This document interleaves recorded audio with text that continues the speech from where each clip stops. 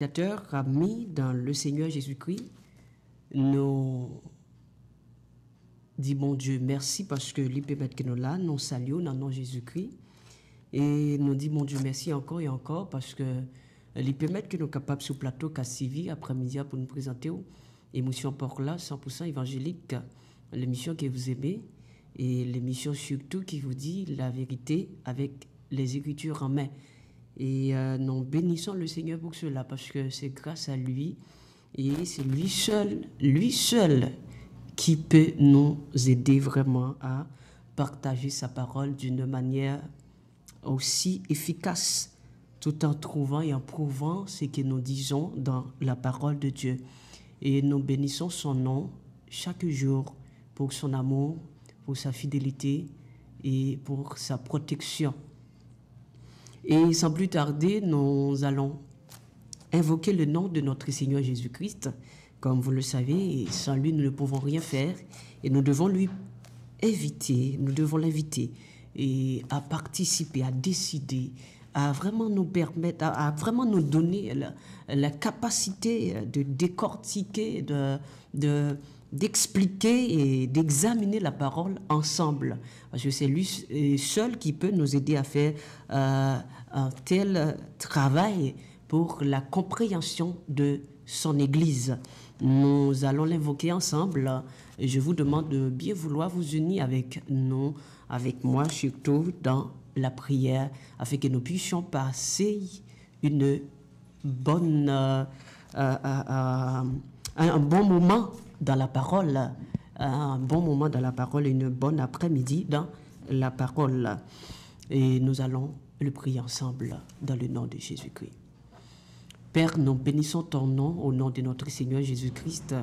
Oh, à toi, Seigneur, qui euh, est le Créateur, le Maître, le Seigneur, le premier, le dernier, et toi qui donnes l'intelligence, toi qui dis, euh, oh Seigneur, tous ceux qui te cherchent te trouveront parce que tu te révèles à tous ceux qui veulent te connaître, à tous ceux qui veulent être révélés par toi, Seigneur, parce que ta parole, la connaissance de ta parole, c'est la révélation que nous avons besoin pour grandir spirituellement, parce que Seigneur, dès que nous, nous, avons reçu le baptême de la régénération, et que Seigneur, nous avons besoin tout de suite d'être enseignés par toi et d'avoir euh, euh, et cette onction, Seigneur, qui peut nous enseigner de toutes choses, parce que euh, cette onction ne peut pas nous enseigner de choses mensongères, mais des choses vraies, des choses véritables, afin que nous puissions avoir cette croissance spirituelle pour le salut, afin que nous puissions euh, Seigneur, être nourri, Seigneur, de la bonne nourriture spirituelle et pure pour pouvoir euh, former cette maison spirituelle au nom de Jésus-Christ de Nazareth. Seigneur, nous bénissons ton nom et nous te demandons, Seigneur, de bénir nos téléspectateurs, de bénir nos frères, euh, de bénir, Seigneur, tous ceux qui écoutent et qui regardent, Seigneur, cette émission et tous ceux qui vont écouter et regarder cette émission, Seigneur. Oh, nous bénissons ton nous te demandons de nous ouvrir le cœur, Seigneur, afin que nous puissions comprendre, afin que nous puissions prendre tout le temps qu'il faut euh, d'examiner la parole, parce que nous avons besoin d'examiner la parole, afin que nous puissions examiner la parole, examiner, Seigneur, tout ce que tu nous as dit, afin que nous puissions trouver la lumière dans ta parole, parce que nous ne pouvons pas nous battre avec la parole, nous pouvons rester, Seigneur, afin que toi, tu puisses nous aider à comprendre, parce que personne ne peut comprendre la parole selon la chair, mais c'est ton esprit, ton onction, Seigneur, L'onction, Seigneur, c'est le consolateur euh, qui peut nous transmettre, qui peut nous aider à comprendre la parole de la vérité. Seigneur, nous bénissons ton nom, nous glorifions ton nom. Merci pour ton amour. Merci, Seigneur, pour ton sang versé. Merci, Seigneur, pour euh, euh, l'amour que tu nous as apporté. Merci le fait, Seigneur, que tu reviens bientôt, Seigneur. Merci. Et merci le fait que, Seigneur, tu as choisi d'enlever ton église.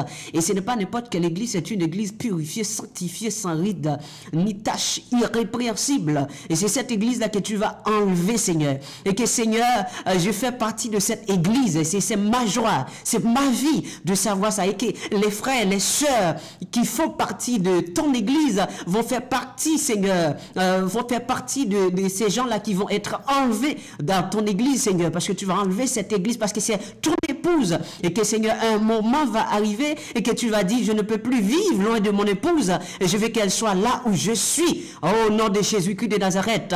Et Seigneur, nous bénissons ton nom. Et nous te demandons, Seigneur, de aider, Seigneur, les autres, ceux qui n'ont pas encore les yeux ouverts, de les aider à ouvrir leurs yeux, Seigneur, afin qu'ils puissent comprendre, Seigneur, la parole, afin qu'ils puissent appliquer la parole. La connaissance de la parole sans la pratique de la parole n'est rien.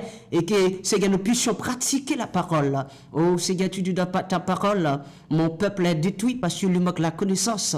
Seigneur, nous voulons que tu nous accordes la connaissance parce que nous voulons vivre pour toi. Et nous te demandons de nous aider, de nous transformer, Seigneur, de nous remplir de ton Esprit Saint afin que nous puissions, Seigneur, transformer par euh, le renouvellement spirituel pour discerner les choses Seigneur, qui sont mauvaises et les bonnes choses, et que nous puissions, Seigneur, condamner les œuvres ténèbres, et que nous ne puissions pas, Seigneur, prendre part à ces choses et que nous puissions les condamner. Au nom de Jésus-Christ. Bénis ce moment, bénis nos frères, bénis nos sœurs, au nom de Jésus-Christ, bénis, Seigneur, euh, notre technicien, bénis, Seigneur, les téléspectateurs encore, bénis, Seigneur, euh, les animateurs de Cassivi et tous les gens qui travaillent dans cette télévision, et Seigneur, toute la population nous te demandons de les bénir. Et Seigneur, bénis ce moment et que tu puisses m'utiliser comme un instrument afin que ta parole puisse être diffusée au nom de Jésus-Christ de Nazareth, notre roi de gloire. Amen et Amen. Amen. Amen. Et soyez bénis encore au nom de notre Seigneur Jésus-Christ. Et euh, je tiens à vous dire que je vous aime dans le Seigneur d'un amour saint et propre et je vous salue par un saint baiser d'affection au nom de notre Seigneur Jésus-Christ. Et voilà, et euh, pour cet après-midi, euh, notre sujet va baser sur euh, le jugement. Hum, alors, nous n'allons pas prendre plus de temps pour partager ce sujet avec vous, de parler sur le jugement, parce que beaucoup de gens disent que l'Église purifiée, l'Église sanctifiée, l'Église euh, irrépréhensible, cette Église irrépréhensible va être jugée ou va comparaître devant le tribunal de Christ. Alors, ils ont dit ça, c'est juste par rapport avec un, un verset qu'ils ont mal compris et ça leur permet de tomber dans la confusion totale et de dire que l'Église que Jésus-Christ à purifier, à sanctifier, à justifier, va comparaître devant son tribunal.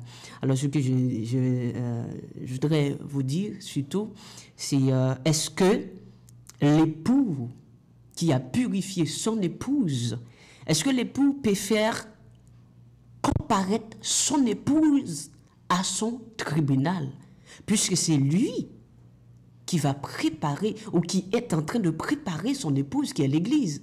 Alors je ne peux pas être en train de préparer mon épouse qui est l'église et qui après que j'ai terminé de préparer mon épouse et que je vais la, euh, la faire comparaître devant mon tribunal pour être jugée.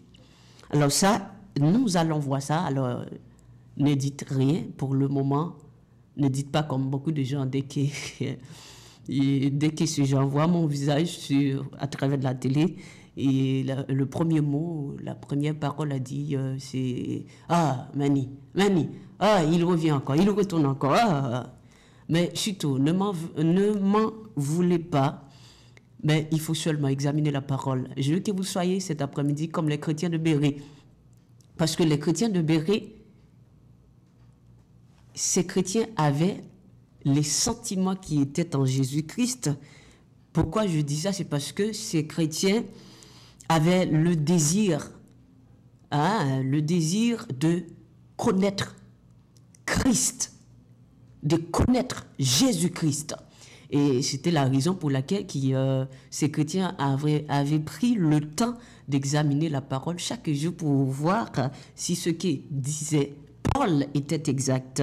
Alors je veux que vous faites, euh, euh, je veux que vous euh, fassiez la même chose.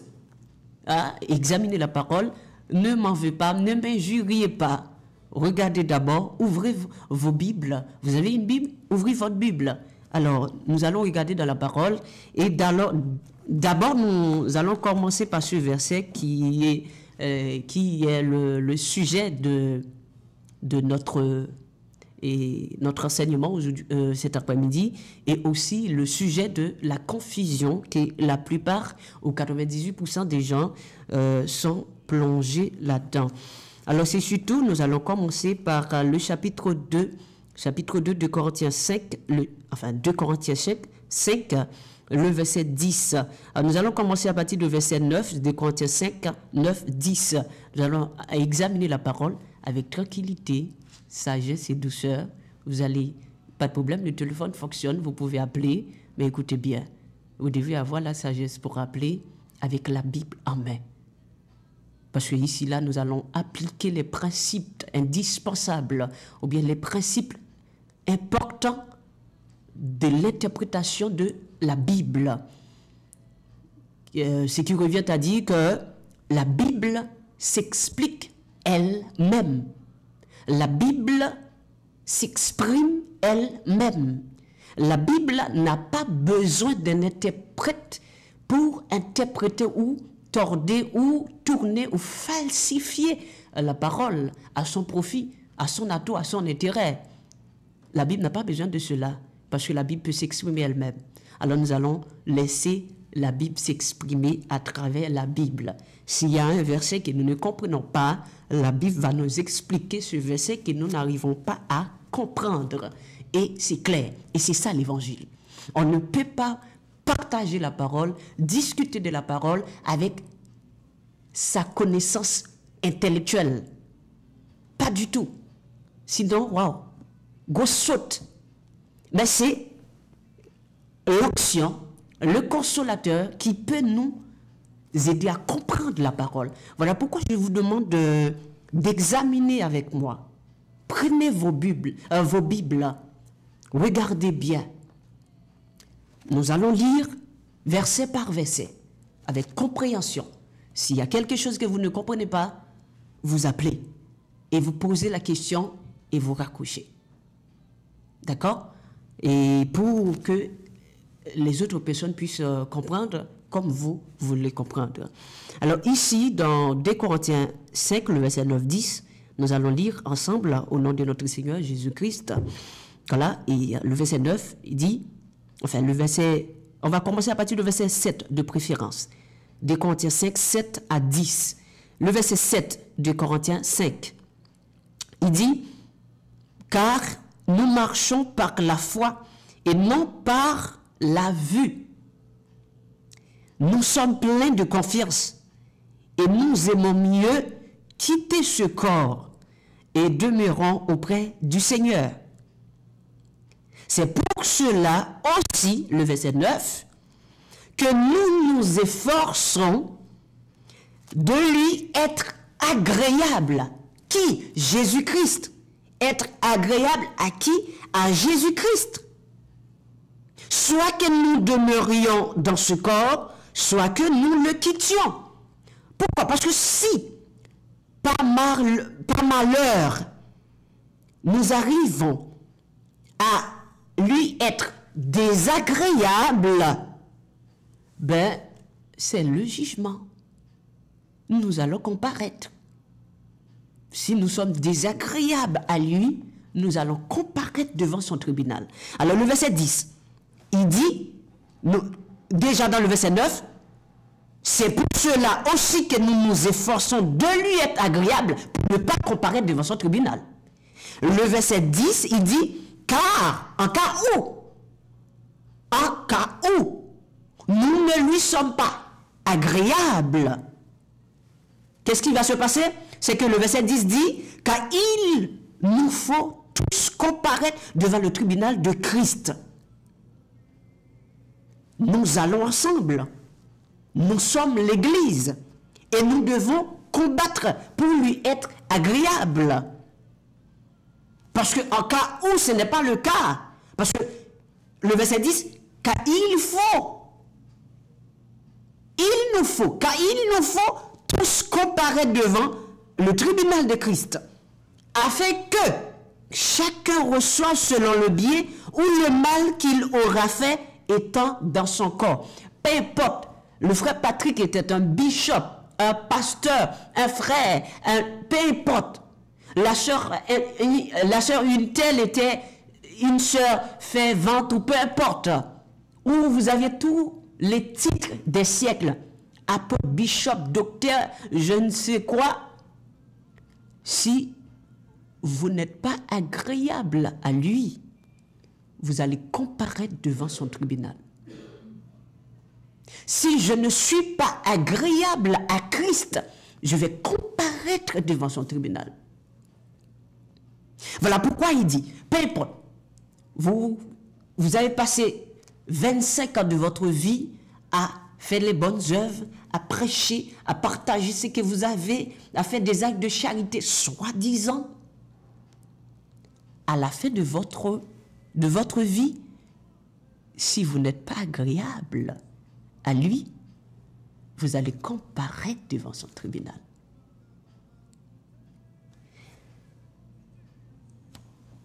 Nous ne voulons pas comparaître devant son tribunal. Parce que les justes ne comparaîtront pas devant le tribunal de Christ. Et je vais vous démontrer pourquoi. Parce que les justes seront comme des juges. Nous ne pouvons pas être des juges, en même temps nous sommes des accusés. Non. Alors nous allons voir ça.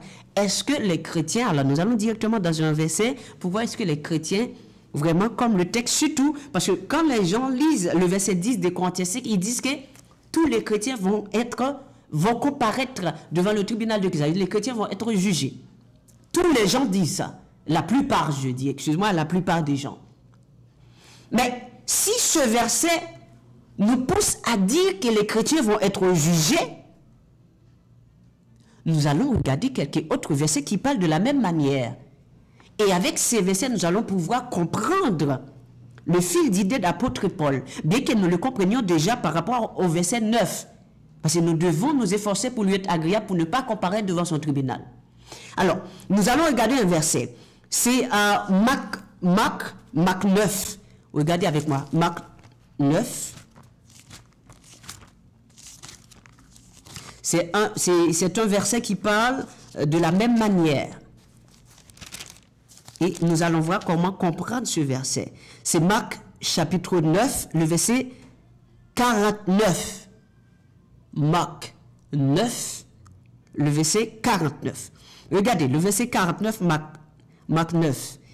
Il dit, car tout homme sera salé de feu. Comme il dit dans 2 Corinthiens 5, le verset 10, il nous faut tous comparaître devant le tribunal de Christ. Car tout homme sera salé de feu. Or, dans 2 Corinthiens 5, 10, notre verset de base, il dit, il nous faut tous comparaître devant le tribunal de Christ. Alors, qui va comparaître devant le tribunal de Christ? Le verset 49, Marc 9, tout homme sera salé de feu. Qui sont ces hommes qui vont être salés de feu? Peut-on dire que les chrétiens, les chrétiens seront salés de feu? Parce qu'on dit tout homme, tout, hein, déterminant indéfini. Tout homme. Mais c'est tout homme-là. Qui sont ces hommes qui vont être salés de feu? N'est-ce pas ceux qui n'obéissent pas à l'évangile N'est-ce pas ceux qui ne qui n'observent pas la parole N'est-ce pas ceux qui ne font pas la volonté de notre Dieu sauveur Jésus-Christ de Nazareth Bien sûr que oui, et nous allons voir ça plus devant. Alors, Marc 9, Marc 9, 49, c'est juste pour... Euh, je voulais juste vous expliquer de Corinthiens 5, le verset 10, voilà pourquoi je prends Marc 9, 49. Car tout homme sera salé de feu, car il nous faut tous comparer devant le tribunal de Christ. Qui va comparer devant le tribunal de Christ? Ce sont les infidèles. Qui sera salé de feu? Ce sont les infidèles. Nous allons voir ça plus, plus tard. Alors, surtout, notez ces textes pour examiner après, pour voir qui, si tout ça est exact selon la parole. Alors, l'autre texte que nous allons constater maintenant, c'est dans euh, Matthieu 12, Matthieu 12, 36. Matthieu 12, 36, parce que la parole doit s'exprimer elle-même. La parole doit s'interpréter elle-même. Elle n'a pas besoin d'un homme de ce siècle pour interpréter la parole. Alors, regardez dans Marc 12, euh, le verset, le verset, le verset 34, 37, 36, 37. Ok, le verset 34 dans, euh, dans Matthieu 12, Matthieu 12, verset 34, il dit, Race de vipères, comment pourriez-vous dire de bonnes choses? Méchant comme vous l'êtes, car c'est de l'abondance du cœur que la bouche parle. L'homme bon tire des bonnes choses de son bon trésor. Et l'homme méchant tire de mauvaises choses de son mauvais trésor. Le verset 36 que nous voulions, je vous le dis, au jour du jugement, les hommes rendront compte de toute parole vaine qu'ils auront proférée. Car par tes paroles tu seras justifié et par tes paroles tu seras condamné. Alors ici, là, le verset 36, euh, Matthieu 12, 36.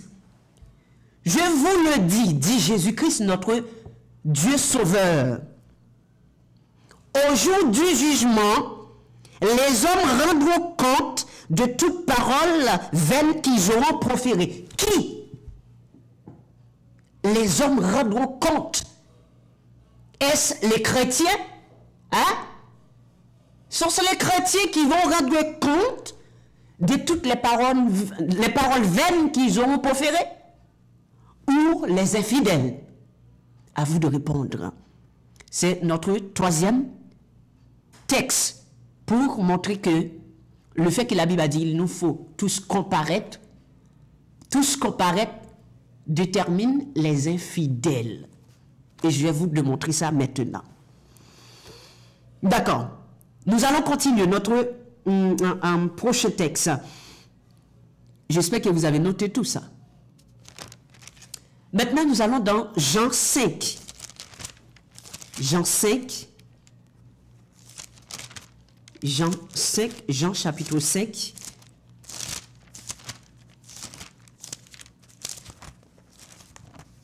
Jean chapitre 5, la parole est très claire et nous n'avons pas besoin de nous bouleverser pour comprendre la parole. Il faut juste le calme et l'onction du Saint-Esprit et une bonne écoute et ça va aller. Dans, Jean 5, le verset, le verset 22, 23, 24, et le verset 29. nous allons lire dans le verset 22, Jean 5, 22 à 24. Mais notre verset spécial, c'est le verset 24. Jean 5, 22, 23, 24. Le, Jean 5, verset 22. Le Père ne juge personne, mais il a remis, il a remis tout jugement au Fils, notre Dieu sauveur Jésus-Christ le verset 23. Afin que tous honorent le Fils comme ils honorent le Père. Celui qui n'honore pas le Fils n'honore pas le Père qui l'a envoyé. Le verset 24, notre verset spécial, pour comprendre le verset 10 de Corinthiens 5. Alors, surtout, mettez le de Corinthiens 10, le verset de Corinthiens 5, 10, à côté de Jean 5, le verset 24, pour comprendre les deux. Le verset 24, Jean 5, il dit, en vérité, en vérité, je vous le dis. Alors regardez bien les virgules, le point, le point à chaque instant. Hein? En vérité, en vérité, je vous le dis. Celui qui écoute ma parole La parole de qui? La parole de Jésus-Christ. Celui qui écoute ma parole. Ce n'est pas la parole de frère Patrick. Non. La parole de frère Patrick? Non, non, pas la parole de frère Patrick. Celui qui écoute ma parole, dit Jésus-Christ, et qui croit à celui qui m'a envoyé, virgule, regardez dans votre Bible, virgule, a, ici là, a, ce n'est pas a préposition, mais c'est a, verbe avoir, troisième personne du singulier. A, a la vie éternelle, hein? celui qui croit en ma parole et qui croit en celui qui m'a envoyé, il a quoi comme récompense La vie éternelle et hein, il y a quelque chose encore que le Seigneur a ajouté. Hmm? Et ne vient point en jugement. Je vais répéter encore. Celui qui croit, hein, je vous le dis, celui qui écoute ma parole et qui croit en celui qui m'a envoyé, et n'oubliez pas, Jésus qui dit en vérité, en vérité. Hein? C'est clair. En vérité, en vérité, personne ne peut détourner ce verset pour dire que les chrétiens vont être jugés. Les fidèles, les fidèles ne peuvent pas comparaître devant le tribunal de Christ. Les fidèles vont être là, mais en tant que juges. Alors, en vérité, en vérité, je vous le dis. Celui qui écoute ma parole et qui croit à celui qui m'a envoyé a, verbe avoir, troisième personne du singulier, a la vie éternelle et ne vient point en jugement, virgule, mais il est passé de la mort à la vie. Hein? Vous voyez comment notre Seigneur est grand? Mais parce que si notre Seigneur hein, nous appelle en jugement, dis, puisqu'il nous appelle en jugement, il n'est plus notre avocat, il est notre juge. Comment nous allons nous défendre devant le Seigneur Tout-Puissant? Comment nous allons nous justifier? Bon, cette parenthèse, je vais la, fermer et puis après je reviens sur cette parenthèse. On va continuer. Le verset 29. Verset 29. Vous allez voir pour euh, ceux qui ne vont pas en jugement et ceux qui vont en jugement. La différence dans le verset 29. Le verset 29, Jean 5. Il dit, ceux qui auront fait le bien ressusciteront pour la vie. Point. Un point. Dans ma Bible, c'est un virgule. Moi, je dis un point. Hein? Je dis un point dans le sens que ceux qui auront fait le bien ressusciteront pour la vie, c'est tout. Pas de jugement. Pour continuer le verset, mais ceux qui auront fait le mal, autrement dit les méchants, autrement dit les, euh, les, les infidèles, autrement dit les incrédules, Autrement dit, ceux qui n'obéissent pas à l'évangile de Christ. Qu'est-ce qui se passera pour eux? Hein? Ceux-ci ressusciteront pour le jugement. Hein? Mais ceux qui auront fait le mal ressusciteront pour le jugement. Pour le jugement. Or, qu'est-ce qui est écrit dans Proverbe 16, le verset 4 Proverbe 16, verset 4, il dit Dieu a tout fait pour un but. Car Dieu a tout fait pour un but. Même le méchant, même le méchant, hein? Le méchant, ce sont ceux qui font le mal. Le méchant, c'est celui qui fait le mal, qui pratique le mal. On, on l'appelle le méchant. Et le texte a dit dans Proverbe 16, 4, Dieu a tout fait pour un but, même le méchant pour le jour du malheur. Il y a des versions qui disent euh, pour le jour du jugement. Le jour du malheur, c'est le jour du jugement. Parce que c'est le jour où on jettera les infidèles Hein, le Seigneur jettera les infidèles loin de sa face, loin de sa face, dans une ruine éternelle. Éternelle. Alors ici, là, chers téléspectateurs, nous avons déjà vu que ceux qui auront fait le bien, les fidèles, les justes, ressusciteront pour la vie, et mais ceux qui auront fait